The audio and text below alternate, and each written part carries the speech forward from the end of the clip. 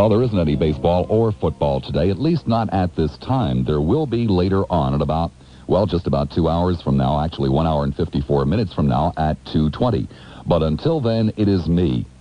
The best thing that can be said about a Saturday morning talk show, or even a Saturday afternoon talk show, is that it's a public service to help kill time until the football game starts. Here it is, 17 years I have been in this business now. 17 years, pulled big numbers, the whole bit, and now I'm just fill time until the football game starts. You know, in between the Star Trek, Star Trek trivia and the football game, it's me. And what am I faced with today? I'm faced with one of the most glorious, beautiful days you will ever find. I mean, a fantastic day in Florida. And I'm sitting here playing to people who aren't swift enough to go outside and enjoy the weather. Okay, well, you know, you do what you can do. You know, for years, for years, talk shows have pandered to the available audience on Saturday. You know, things like, hello, doctor? Doctor, I got a pain in my side. My doctor says it could be nothing, but it could be something. What do you think, doctor? Should I believe him, doctor? and now, now the industry, after 38 years or whatever it is of driving away the audience on Saturdays, have turned to me. 38 years of destruction of talk radio on the weekends, and now they turn to me and say, uh, Lassiter, uh, you know, go in and do two hours and 20 minutes on Saturday.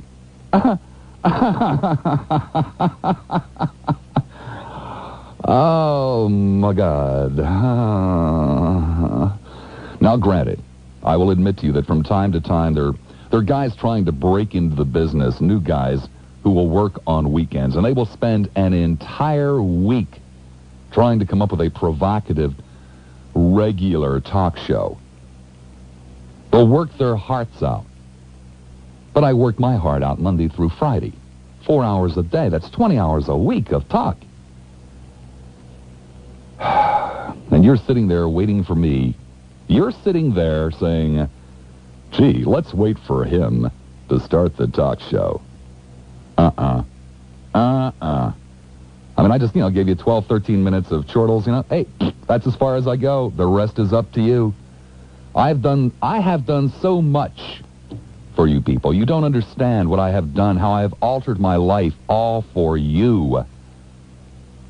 For example, I now go to the Kmart, not because I want to go to the Kmart, but just so I can see where it is that you go. So I, I can have some type of some type of understanding as to what it is that you're faced with, what you go through with your lives. I've even started driving a, a U.S.-made car. Why? For you. That's why. I eat out at cheap restaurants so that I can identify with the kind of food that you eat. I've done all of this for you, and you sit back on Saturday afternoon and say, well, we'll wait to see what he wants to talk about. Last time I tried this, what did it get me? It got me a, a fascinating discussion on the history of turpentine. Well, I don't care. I don't care. I'll just give you the telephone numbers. 990. I got kind of a problem I'd like to run by you, see what you think. Okay. Uh, I'd like to meet a girl, okay? Okay? And, uh, I think you're, in- you, I, th- this isn't desperate and dateless. well, I know, but I just thought I'd get your opinion on it in that, to me, you know, age, race, or physical appearance isn't important. Okay. And I've tried to hang around... You're just 7-Elevens horny, you don't care. Kmart's and computer user groups, but hmm just not doing it. It sounds to me like, you know, like you're trying to copy Delmer's, uh, shtick. Uh, you're, you're just a horny man, right, Ray? Yeah. Just yeah. a horny, anything will do. Yeah, basically. Well, Ray, I'll tell you what. I'll put you back on hold. If anybody out there, I've got two lines open, one in each county. If anybody out there wants to meet you, then we'll put the two of you together on the air, okay? Okay, this is a desperate situation, Bob, and I'm beholden to you, sir. Okay, so we'll just put Ray back on hold. There we go with Ray. And it's, uh, what, 1242? We'll take a break and return on. Tom said he's horny. He's trying to meet a woman. We'll do anything on Saturday. We have no shame whatsoever. So if there are any women out there that want to meet horny Tom, he says age, race, sex, physical appearance has nothing to do with anything whatsoever. He is not picky at this point in the game. That's Tom, but I assume he's willing to travel. So even if you're in Pinellas, uh, probably you could work something out with Tom. Didn't sound like an overly exciting man, but then who am I to say? Really? Yeah. How's that, Tom? Well, I'm on the road 14 hours a day, 5 Uh-huh. days a week, Uh-huh. and I listen to your show, and I get upset, and I can't call you. Mm-hmm. And you've got me so damned addicted to radio that I can't go out and mow my lawn today because I got to find out what the hell's going on. Mm-hmm. And I think it's all your fault. My fault, Tom. Yes, I'm about to start uh, Lassiter Anonymous Club. Tom, Tom, Tom, you wouldn't want to do that. Us people who are addicted to you can get something done. You know, we used to be able to get something done on the weekend. Now I got to spend three hours in the house this afternoon listening to you so I can get upset. Well, Tom, you know, you, you can you can do your chores at 220. I, football game comes on at 220. Yeah, but I, I want to watch a football game and listen to it. I mean, I can't. I, I, I'm not ambidextrous. I'm deaf in one ear. No. Yeah. Oh, Tom. And your comment yesterday about those snowbirds. Mm-hmm. Uh, I think what we ought to do is we ought to say anybody who comes to Florida after the age of 60, if they can't have a Florida driver's license, and they can't use driver's license from the state they came from, then we wouldn't have to have a metro. We wouldn't have to spend all this money on these roads because the people who live here would be the only ones on the road. Well, but but but but Tom, the reason we might want to spend some money on roads is so that we could get from one place to another. Yeah, but It's, not really just to accommodate brain damaged snowbirds. It's so that you know you can get from St. Petersburg to let's say Lutz without having to go to Jacksonville first. Yeah, but we, we, the roads we have now would be sufficient for the end of time if we took all the snowbirds off the road. But but but but but Tom, you see, you, you live in Hillsborough County where the roads are a tad better. In Pinellas County, there are only three roads, Tom. I-275. It's not as easy as it seems, is it, Tom? It's just It's very tough getting rid of those people. It's- It's it's uh, it's probably confusing. easier to get rid of the love bugs than it is to get rid of the brain damaged snowbirds. Well, I do my I do drive my some fighting best. Golf carts and I do my best. Tom, to get rid of love bugs. I just drive up and down the streets, you know, squishing them on my windshield and, and front bumper, and I would be willing to do the same thing for the brain damaged snowbirds. Yeah. Be good. Bob, and he's She's in the back bedroom with the radio on. oh the the, the brain damaged snowbird uh, snowbird alarm. You mean? Right, right. When we get one on the uh, air, will it go something like? But you know, in re- reference to that man that just called Tom, Tom, Uh huh. obviously he's never been over in St. Petersburg and seen the three-wheel bicycles running up and down the main streets over there.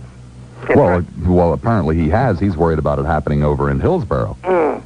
Well, I mean, I know from personal experience where they've come out of the corners on me and everything like that, and it was strictly a white-knuckle trip. I was over there nine years ago and haven't been back. You know, you know, of course, if Gucci ever put out a tricycle, they'd be all over Carrollwood in no time. I tell A Canadian can leave Canada with $100 and go back with $99.95.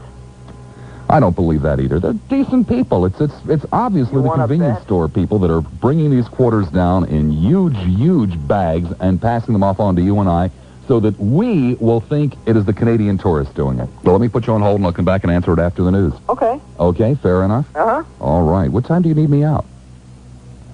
Uh, talk to me on my my phones here. What time do you need me out? So I'm used to. Oh, oh, okay. Because I was used to getting out 20 seconds uh, before that. No problem. No problem at all. It's just you know, we, as long as we each know what we're talking about, then we can say, "See you later." Here. Interested in, but I feel compelled to to help young people out of this dilemma. Kevin, you're still there? Yep.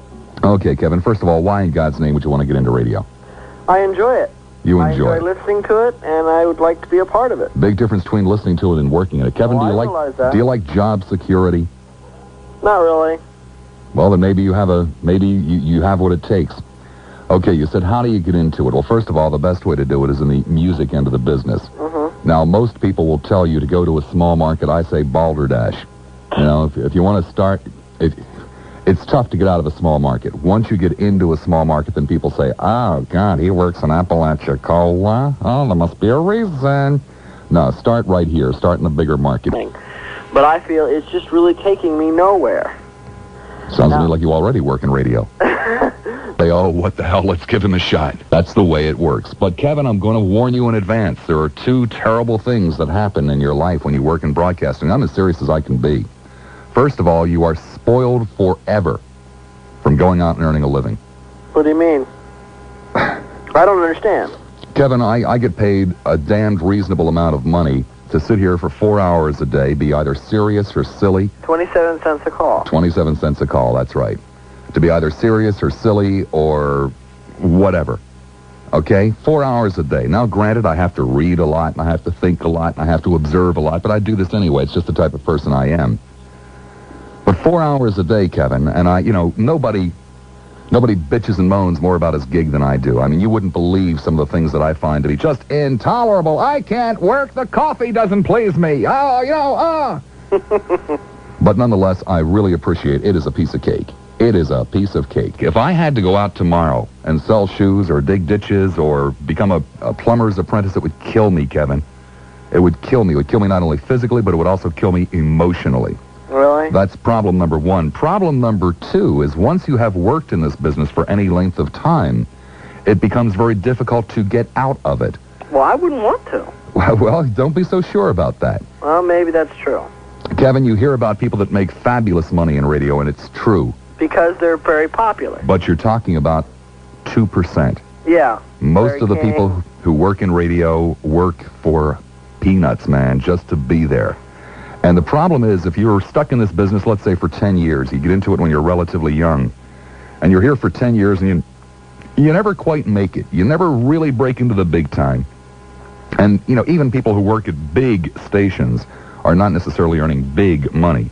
Mm-hmm. But let's say after 10 years, you're you're just not doing all that well, and the time comes you realize that well, I'm not going to make it, and maybe I better look for something else. You know, you can't play rock and roll records forever.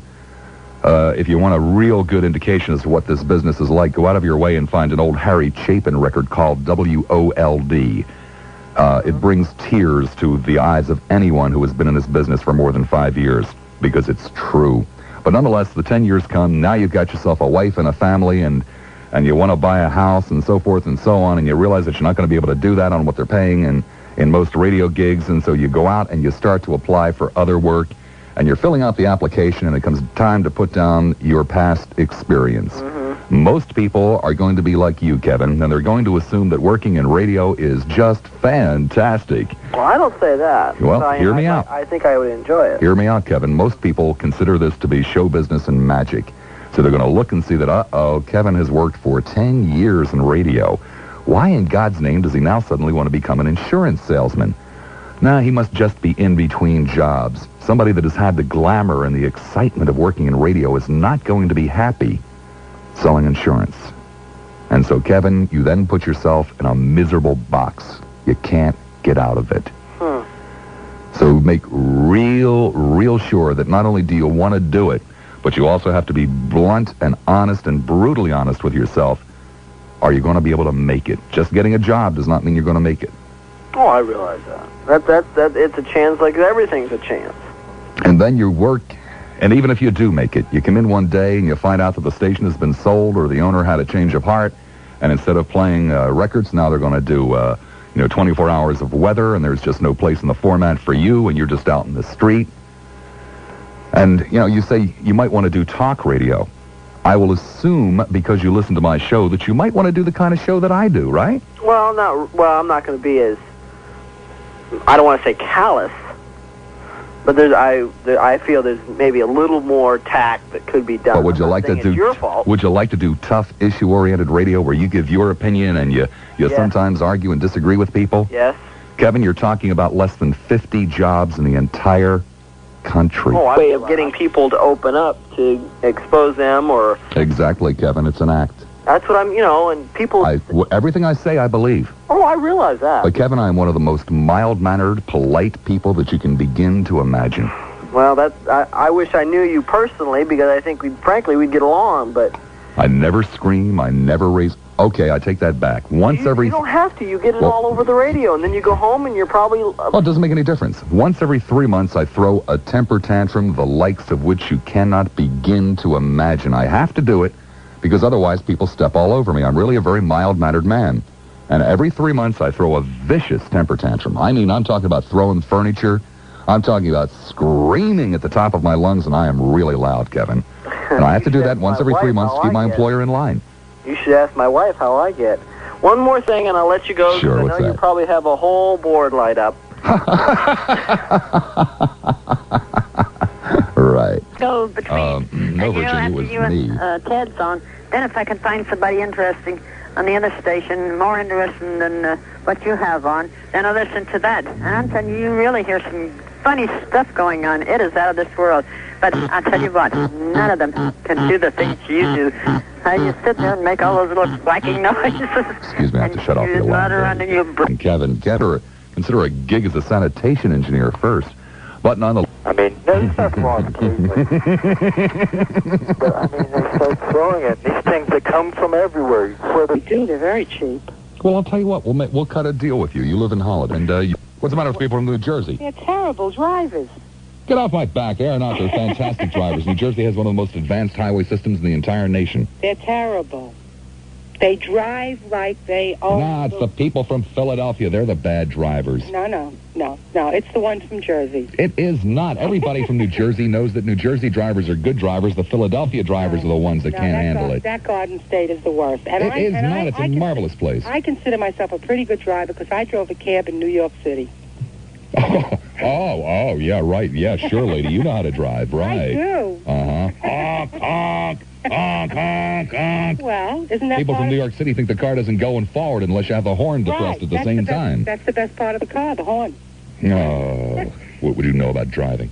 Bob, have a good time. I've already pointed out to you. How many times do I have to say it? In Pinellas, WFLA. Charlie in West Tampa. Hi, Charlie. You're on the air. How you doing, Bob? Fine, Charlie. Happy birthday. Thank you. A little belated, but uh, uh, Not much. I want to call somebody a sleazebag, Bob. Hey, fine with me. Jim Bakker, big sleazebag, A smart sleazebag, too. sir.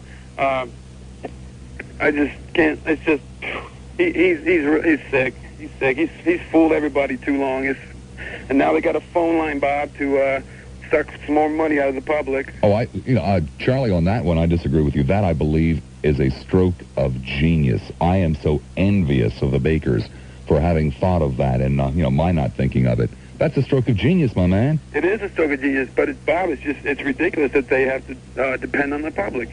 You know what's what's next? Tammy Bakker, you know, cosmetics. They're gonna, have a blush with a paint roller or something. You know, it's it's just Whoa, whoa, Charlie, where have you been? Tammy Bakker Cosmetics have been around for years. right. Well, Very expensive. I know, I know, Bob. It just it just kind of it just that whole thing is weird. But um, by the way, um, I wanted to uh, say good luck to the Tigers today. I'm a Tigers fan, and uh, I'm real excited about today's game and stuff. So, and uh, did you hear about Rocky? About Rocky. Uh, about his, Rocky? his little. I heard him the other night on another station, and he he's uh, revealed some pretty weird stuff, Bob. Like what? Like uh, he's building a dungeon in his house, so uh, him and his wife can, so he can wear a suit of armor and uh, tie his wife up, and uh, Oh, sounds exciting. yeah, and he's going to have a mock funeral. Wouldn't you love to see Mrs. Rocky someday? You know, maybe Playboy could do a, an in-depth interview and a, a, a spread with Mrs. Rocky. Well, That'd be great. I'd buy that issue. supposedly she loves for him to tie her up to a, his car and, and him beat her with a whip and stuff. She loves it. Oh, my, my, my. But but Rocky said he he doesn't he doesn't hurt her. He doesn't hurt her. But um, Are he you- he, he, he uh, stressed that fact, Bob. Mhm. Well, he, he's a mild-mannered man. Right. But uh, is he going to be in the studio Friday? No, not in studio. He'll be on the phone. Really? You're talking about the Lassiter Group, which comes up this Friday, October the 9th, 12 noon. Lionel, Carolyn, Rocky, and Captain Jackie. Can't wait, Bob.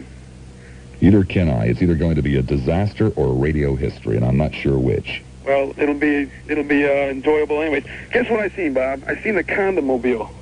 A condom mobile? Jim, Jim over in Clearwater. Oh, the old Oscar Mayer weenie mobile, I, yeah. I passed by Winky Wieners and there it was, Son of a gun. and he was heading for a phone booth too. So I don't I don't know. Well, he should be calling in any minute then. Okay, well I'll let you go, Bob. I gotta get ready to watch the game, but I wanted to make somebody else a sleazebag too. Uh, Shanks. Shanks, Shanks is a sleazebag. the queen of talk radio. He he he spends uh, five minutes saying how he doesn't want to criticize anybody, then spends ten more telling why. Son of a gun. So, anyways, Bob, the comic strips are on the Mr. way. Entertainment. Okay. See you later, Bob. Have a good day. Bye-bye, Charlie. Happy birthday, and I'd like to wish you continued good health and success in whatever you do. Thank you. But I feel that you're always criticizing the elderly from the Midwest, and, Yes, yes. and it just seems that you're s- using a stereotype, Mr. Lassiter. I think we should judge people individually on an individual basis. Well, yes, we should, but we can also judge people on, you know, their, on the masses of, of them staring us in the face out there. Well, I mean, perhaps some of them have not all their faculties, but I mean, they are elderly people. And when we, and some, a lot of people are unfortunate that when they get older, they do lose their capacities. We're down here because there is a mentality like they hate the Northerners, and now you're talking about the Midwestern states like Iowa. Well, these people, you know, if these fat women would stop walking around in yellow stretch pants with socks and sandals on, then, you know, we wouldn't talk about them. Well, Mr. Lester, I mean, that is a stereotype. Not all of them. What do you mean a stereotype? I mean, there are thousands of them out there, and with each passing day, more of them are rushing into town, hanging around Kmart's, Well, stealing sugar from the restaurants. Well, I don't approve of that. Of course, they should pay their way. I think anyone should. Uh, working people deserve tips and things like that. I, but I do like you, Mr. Lassiter, and I will continue to listen to your show. But I just wish you had more optimism in your life. I think you're a fine man. More optimism. I, you always seem to be so. Don't get numbers by being optimistic, lady. Well, I mean, you always seem to be so pessimistic about everything, Mr. Lassiter. Right, that's what gets the numbers. Well, I try to be more optimistic and happier. I like you, and thank you for letting me talk. Take care. Optimistic and happier. Good grief. Oh, phooey. Jim in Largo. Hi there, Jim. Hey, how you doing there, Bob? Fine. Yeah, I'm over at the hot dog stand. Over at the hot dog stand again, Well, huh? I, I, uh, I was going to fill up on a few over here, so I figure I'd probably get a few minutes before they chase me away. hmm So what's going on, Bob? Oh, not much, uh, Jim. Uh, how about yourself? Well, I kind of tuned in on the uh, old uh, condomobile there, Yeah. and I heard you talking about the Bakker deal. Yeah, did you hear about uh, Ronnie's uh, kid going to be on television putting uh, rubbers on bananas? Oh, jeez, that should be good. I hope they're. Well, I'm kind of looking forward Well, to it. I hope they're our brand. Well, you know, whatever brand it is, it doesn't really make that much difference. It, it should still help the industry overall, I Oh, should yeah, think, wouldn't really. you? Unfortunately, the banana industry is very, very distraught about this. Hey, you know, uh, kind of uh, got me thinking when you talking about the Bakker deal. I'll tell you something that really put that to shame. You ever wonder how they go about uh, trying the new uh, condom lines and whatnot to see if they work? Uh-huh. You ever wonder how they go about that? Uh, to tell you the truth, Jim, no, I never did wonder about that. I had so many things that I... And yet, I guess. Yeah, the, uh, all the corporate guys and chairman of the boards there, uh, well, I don't know if I should say this or not. But anyway, they, uh, they get together with their uh, secretaries and they uh, try out the new lines. Oh, really? Yeah, that's how, that's how they find out the product is good or not. How do you think they test them out? Well, maybe that's why they, the you know, they administration show has sent out the they blow them up president's with son. air, you know, but, Well, uh, I said maybe that's why the administration has sent out the president's son to uh, teach people how to uh, put condoms on bananas. hey, now let me tell you something. Those boys can hold some good orgies. The uh, guys are these uh, corporate guys that run the uh, condom manufacturing plants. Well, I'm sure they can. I'm not so sure about people in the administration, you know, running around putting condoms on bananas. Oh yeah, they. Uh, well, I'll tell you, they try out all these, all the new stuff. I, I like to be there when they come out with the new, uh, the new one I was telling you about. It's I got mean, who the, the hell are they trying to kid? Huh? Ought to be putting them on squash. yeah. Can't wait till they come out with the the new deal there. I like to be a fly on the wall when they do that. Oh, really? When they uh, when they impregnate the uh, latex with that new chemical that uh, kind of gives, they're really supposed to give make women horny. Mm-hmm. Yeah, boy, I'll tell you. Well, it should do much for the industry. Huh? Uh, it should, try to read my lips, Jim. It should do much for the industry. Oh, I'll tell you what. Uh, it's, hope it'll make Why don't, me, why don't you look make for, me a rich man. Why don't you look for a phone booth that's not on a you know a busy highway so that you could hear what I was saying in return? Well, hey, I was going to go over here and eat. They do have great uh, Chicago hot dogs over here. Oh. Yeah. So, uh, Well, I don't want to keep you from your lunch, Jim. well, that's all right. I'm just kind of working up an appetite here. Well, good. Why don't you go and diminish it there? WFLA. Hey, Roberto, how are you this afternoon? Fine, Michael. Oh, good to hear. Listen, the reason I wanted to call in, the, a, a couple callers ago, the guy was telling you about what Rocky did. Mm-hmm. And the reason I called you was was to verify it. They had, they had a show on S&M, and he called in, and I, I was thinking Whoa, whoa, whoa, myself, whoa, whoa. Mr. Entertainment had a show on sadomasochism? right, hey, you're not out there. Listen, Mhm. you ran a poll a couple of Saturdays ago. I'll get into the S&M. You run a... Was he was he in favor of it or opposed to it? Or, or just neutral? Well, he, he, Mr. was, he, Showbiz. was, he was a moderator. He, he laid in the cut and, and sat back and, and kicked with it. And he had a little fun with it. And he had a few of the Christians call in. And he had a few of the folks in, in the neighborhood that are into it call in. And, and I got to admit, it's entertaining. But you were you were running a poll not too long ago, and I couldn't get through the lines, and I had a comment I wanted to make. What was that? The man had his socks on, but he'll never fill Lassiter's shoes out there for the late night rattlesnake hunter. I've heard that he always had his socks on. Uh, he, I, he, the, he'll never fill the shoes. I'll tell you what, Bob. We miss you at night out there, and I know you don't like to do it. You like to be with your Lady Mary, like I'm with my Lady Dawn, and it, it's it's. I know you're in a time spot now that's comfortable and feeling good to you. And it sounds like strange things are happening over there at the other station. But I got my two guys back to back, the Webb and you, and I know the Whoa, whoa, Webb. whoa, what do you mean strange things are happening over there? Like what? Uh, this morning, uh, Dawn does. See, Dawn thinks I'm crazy because I got off of television and got into talk radio. And if you ever start a fan club, I want to be the president. Uh, you've made. I told you before. You've made me laugh. You've made me cry. You've given me many, many hours of Well, we are kicking- entertainment. We are kicking around the idea of a Lassiter fan club over here, uh, putting out uh, pictures uh, on dartboards and things of that nature. We are legitimately kicking that around, and we'll probably go ahead and do it. Hey, it sounds good. In fact, if you'd ever said, uh, "I'm," uh, I'm going to appear or be at some type of radio promotion because I, my lady and I do some radio promotions and TV promotions from time to time. Uh, and if, if you think I'm kidding or I'm not for real, Ted Webb knows us. We come in and, and do a little time with him every now and then. We handle rattlesnakes, cottonmouths. Uh, we deal in all types of urban wildlife problems. But anyway, uh, if you ever had a fan club, uh, there's definitely the, the security people, the people in the bowling alleys that we know, and I'm not a sportsman. I wouldn't turn a TV set on to watch a buck, a bandit, or anybody. To me, games are funny. I've I've only ever participated in two types of competition sports in my life, and that's sports parachuting and rattlesnake roundups. I like to be on the edge. All that other stuff is just games to me. Well, whatever turns you on there, Michael. Bob, I just want to call in and tell you, the only person that could ever get out of Rocky, and and you never had to pull for it. You could just agitate him a little bit. And in fact, when Lassiter Friday is something in my household, and I know about a hundred households and people that we know, and we're are are waiting with bated breath to see what happens. The Lassiter Group. Right, high noon or low noon, you know, whichever. Uh, we'll be there on top of it. Usually, we're in and out of the truck that time of the day because we're answering calls, getting coons out of attics, and and. But uh, we're, we're like I say, we're we're waiting for it. We know it's going to be like you said. It is either going to be one of the. It's Because I- bomb to or- be or honest, be I don't great. think you like Lionel, but I like Lionel. I like the man knows how to play with words. He knows how to deal with it. Uh, Lionel's cute. I can deal with Lionel, but Rocky, Rocky would be strange. I think I could meet him one night and party with him one night, but I would never want to go back for seconds, if you know what I mean. Thank you, Michael. All right, later, Bob. Take care. Hi, boys and girls, and welcome to Tot Talk, the telephone talk show for little people, with your host, me, Uncle Bob. We have a great show planned for you this afternoon. A little bit later on, we'll be talking about how to organize a neighborhood game of hide and go seek. And then we'll be discussing the new format for Jack and Jill magazine.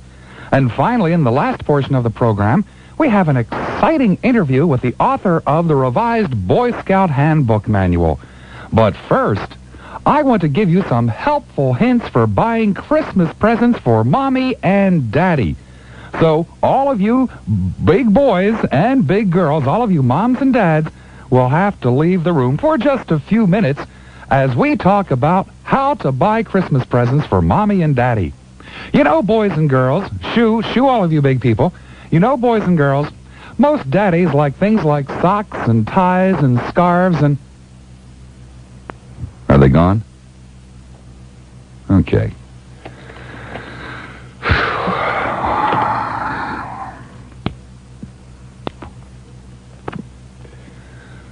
We'll pick up where we left off last week with the Jessica Hahn interview.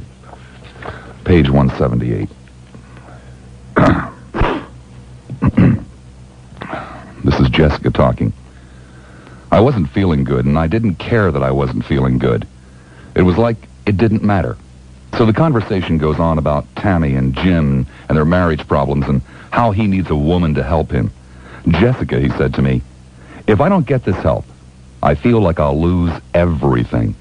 And John Fletcher said, Jessica, You're going to be doing something tremendous for God. John got up and said, I'll be right back. He left. Jim Bakker started talking more and more, telling me the same thing. Within minutes, John came running back into the room with a bottle of Vaseline Intensive Care Lotion, and he says, Jim Bakker loves back rubs. I said, John, I don't think so. I felt sick. I, I could barely talk. He then leaves the room. So now I'm sitting here. Jim Bakker is on the bed. He gets up. He's still complaining that he's not going to be able to go on. He doesn't want to live. He doesn't want to continue. It's so hard to continue in his ministry. And then he says to me, I'm glad you came. I said, I really, I, I don't feel right. And I kept trying to say that. But I couldn't even respond to what he was saying anymore. I couldn't anymore.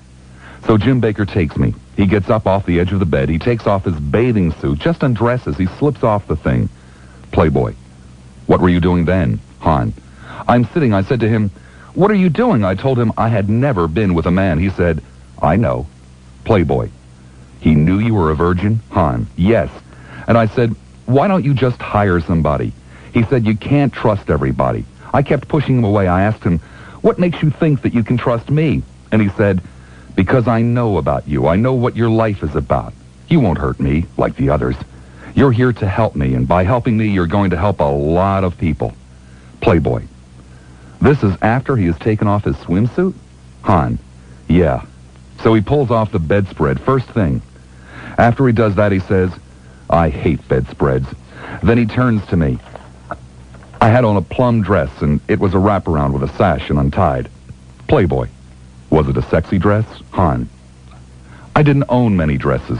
That was my prettiest. My pastor's wife bought it for me, and I had worn it at church, sitting up front. Playboy. Oh. Hahn. So he just pulls me, just takes my waist and turns me to face him. And he backs up on the bed and pulls me, and as he's going back, I'm pulling away, and the guy pulls my sash, takes my dress off. He starts, he, he unhooks my bra. You know, he just, he, he just undresses me. Playboy. And you're just standing there? Hahn. No, I'm, I'm not standing there. I'm lying there, and by the time he gets he had my bra, he had my dress, he had my slip. He starts going on, and I'm just, I'm trying to take his hand, and I'm just saying, just I, I said to him, you have to leave. He goes, Jessica, by helping the shepherd, you're helping the sheep. So I took his hand and I said, Jim, I just can't. I kept pushing him, and, and the more I pushed, the more it enticed him, or whatever it did. So I just said to him, look, I'm sick. He said, you'll be fine. Just just lie here. Playboy. Did you say anything to him about the effects of the wine? Hahn. I said to him, there's something bad. There's something wrong with me. And he said, it's probably because you didn't eat. And that's all I said. Playboy. What happened next? Hahn. By now the guy is on top. He has managed to completely undress me, and he's sitting on my chest, and he's starting to put pillows underneath my back. He's really he's really pushing himself. I mean, the guy was forcing himself. He, he put his in my mouth. And I just started to cry at that point because I couldn't believe. I just, I just started to realize everything that was happening. First of all, I couldn't breathe right. You know, it wasn't, it wasn't, it was just emotionally I couldn't. Everything was like, it was the first thing this man did. He has pillows under me. He's sitting like on my neck. I'm not breathing. I'm feeling sick. The guy is like Letting loose and I'm choking. Okay, so I'm crying. Tears are coming. Playboy. What do you mean? He, he was letting loose. Hahn. The guy in my mouth. There's tears rolling down my face. Okay? I'm limp as can be, and he's still going on. In other words, he, he's not, he's not seeing me respond. At this point, you just don't feel any. There, there's nothing left. So the guy moves down, and he sees that I'm crying. I'm not in my right mind now. My neck hurts. My throat hurts. My head feels like it's going to explode, but he's frustrated and determined. Determined enough that within minutes he me and on top and he's holding my arms and he he has these pillows underneath me so that he's just into this. He's now and and going on. I'm pushing him away. You know, every time I did that, it seemed to to bring him on more and he was he was talking off the wall. Playboy saying what? Hahn saying when you help the shepherd, you're helping the sheep. Crazy stuff. Playboy, what stuff? Hahn. You'll appreciate this later, that kind of stuff. He keeps holding my arms, and this is going on, and I start crying again, and then he, inside me, there was no reason to hold my arms because it, it wasn't going anywhere. I, I felt like I was drifting. Playboy, did you feel pain? Hahn, yes, it hurt. But he wouldn't have stopped if I screamed. There was pain. There, there was a lot of pain, but I was worried. I kept saying, my God, I'm, I'm going to get pregnant. You have to understand, it wasn't like I ever did this. I, I had never slept with anybody. So this, to me, was a, a typical fear of someone who who hasn't done it before. It's it's like when you try to sleep or something and you have a thought that keeps staying in your mind and, and when you're tired you can't get rid of the thought and this was in my mind that I, I was going to get pregnant. But I kept going and going. I was it's not that it's not that he couldn't do much. I mean, there there was no way. He he went limp as can be, but he just kept trying and it was frustrating him even more. You know, he he he turned me over. He tried anything. He was still having intercourse with me, but he couldn't really. Playboy. By this time, you had been there, what, about an hour, an hour and a half, more? Hahn. More. Well, it felt like about an hour by then. Playboy. When he later told Falwell that he'd spent 15 minutes with a whore and that he had been impotent, do you suppose he was thinking of this period when he was trying to get an erection? Hahn. He, twice, by now, he's getting frustrated because nothing's happening. I guess the challenge of taking somebody who didn't want to be taken is lost. He's done it. Playboy. What were you doing? Hahn. I cried a lot. I told him that things hurt me. I told him that I just didn't. I, I remember tears rolling out of my eyes, and I remember telling him I can't breathe. I know that he was getting frustrated because he couldn't. He was trying to find a way. Playboy. Was there any kindness? Hahn. No. Playboy. Did he caress you in any way? Kiss you? Hahn? No, no, no. He was like, what's next? It, it was like a book, like, like getting a book and saying, okay, we did that, that, and that.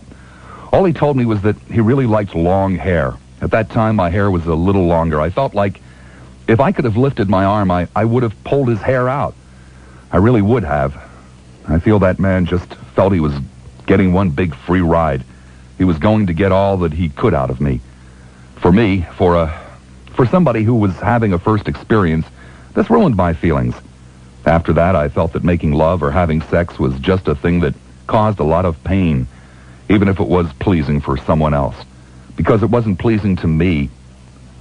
Put a bad light on it for a long, long time. Now I realize as time goes on that's just not the way it is. Not that I'm running around sleeping with different people to find out. I'm, I'm not. Though that's no one's business anyway.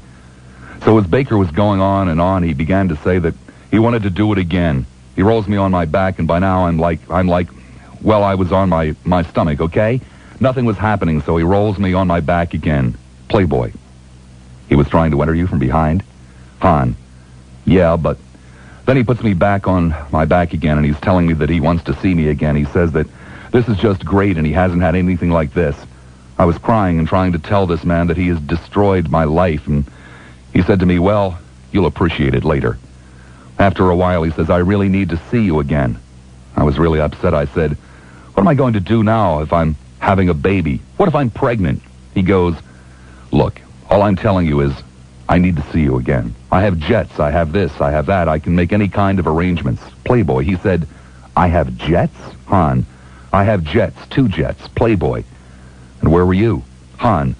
I was still on the bed crying and thinking about having a baby, and he said, look, I need a woman like you to be, to be by my side. I can make the arrangements. I remember him saying he had two Learjets and that he needed to have somebody who would accommodate him, fly in and by his side, a woman who had not been around other people, somebody he could trust. Playboy. He meant a woman who hadn't slept with other men. Hahn, obviously. He's telling me how, how much he could use a girl like me, and I'm not responding. I'm just lying there freezing. I'm freezing, and he's on top of me. Playboy. He was on top of you while he was saying that? Hahn. Yeah. He's on top of me. So then he says, I really would like to try this just one more time. By now he's telling me about jets and seeing me, but I'm thinking about babies and thinking about my pain and thinking, this is Jim Bakker on top of me telling me this. This is what I'm thinking. This is this is crazy. It's insanity. Playboy. And he wanted to do it one more time? Hahn. He's just unable, and I, I don't know even what he got out of it. I don't know how the man, because I don't, I, di- I didn't participate. The man did what he wanted, but he's getting a little bit frustrated now, and he's telling me that it, it doesn't matter. Maybe he has something on his mind. So he said to me, listen, I could go on, but I'm going to have to go. My daughter is with my bodyguards. Now I'm worried the girl is probably right outside. For all I know, she's really close by. So he's making all these great plans, and I'm crying. He rolls off me, and I'm so cold. I was freezing. I was ice cold. I remember pulling the blankets over me and getting up and saying, well, I've got to get my bodyguards. But you really ministered to me, Playboy. Really ministered to me. He said that? Hahn. He also said it later. So he got up, brushed his hair with my hairbrush, and left. Playboy. How much time had passed? Hahn. About an hour, an hour and a half. At the end he said, thanks a lot. So I'm in bed and I, Playboy. Did he wave? Did he come back and kiss you goodbye? Hahn. No. He just ripped the blankets off. He knew, too, I was freezing. You know when, when you're freezing and you don't want to move? But he just said, thanks a lot. Playboy. How did you feel about that? Hahn. I want to tell you something. If I ever did a book, I would probably title it something about a flower. If the man had ever come back to my room ten minutes later with one lousy flower and said, Jessica, I don't know what happened. I'm sorry. I probably could have looked the other way. He probably still would have PTL. Playboy. That's a lot to forgive for a flower. Hahn. A flower says you're there. You're... You exist. You're human. A flower is something you can see, you can feel, you can smell. That's how I think of it. You don't give flowers to robots and machines. There's a lot behind a flower to me. Playboy. And you would have forgiven the whole thing. You'd have forgiven him for forcing himself on you. Hahn, I can forgive a lot. I really can. All I can tell you is that I did not initiate it. I did not want him. Playboy. The blankets had been ripped off and the guy was out the door. Did you hear voices? Hahn. No. I just heard the door shut. Whew. Heavy stuff. We'll conclude the Jessica Hahn interview in the November issue of Playboy next Saturday morning, right after the news. Okay. We'll have to let the big people back in the room now. Let me put out my cigarette. Okay, boys and girls, and that's all you need to know to get mommy and daddy lots and lots of Christmas presents.